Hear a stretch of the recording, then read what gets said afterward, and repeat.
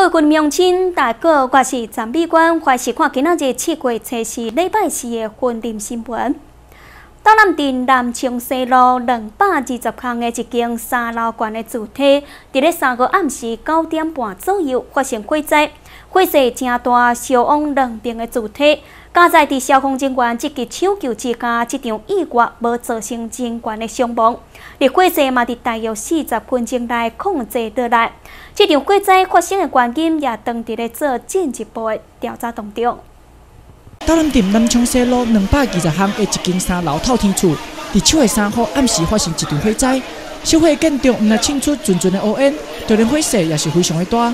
火架在在消防队人员的抢救之下，无人伤亡。七月三号二十一点三十四分的三十四分时，那个斗南镇小镇里南昌西路两百二十巷内那发生住宅火警，那建筑物主要是三层楼的别墅啊，啊现场没有人员伤亡啊。因为小火地点附近拢是徛街，因此消防人员也毋敢大意，总共派出十四台的消防车，并伫四十分钟内将火势控制落来。目前起火原因也正在调查当中。消防局总共派出了斗南、大皮、虎尾、公园、赤桐，总共五个分队，各式消防车十四辆。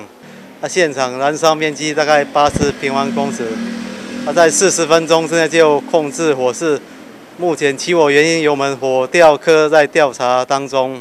这场暗时发生的火灾也影响到两边的客家。受到破击的民众也表示，三楼的装潢、电器设备也拢已经害了了。三楼的的部分比较严重啊，我们就是说直接火烧过去那边，可能高温响，冷气啊、电器啊、电灯啊，全部都都全部都坏掉了。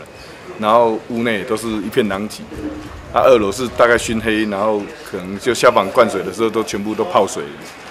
最主要是三楼的家电装潢跟家具几乎全部都没了。对。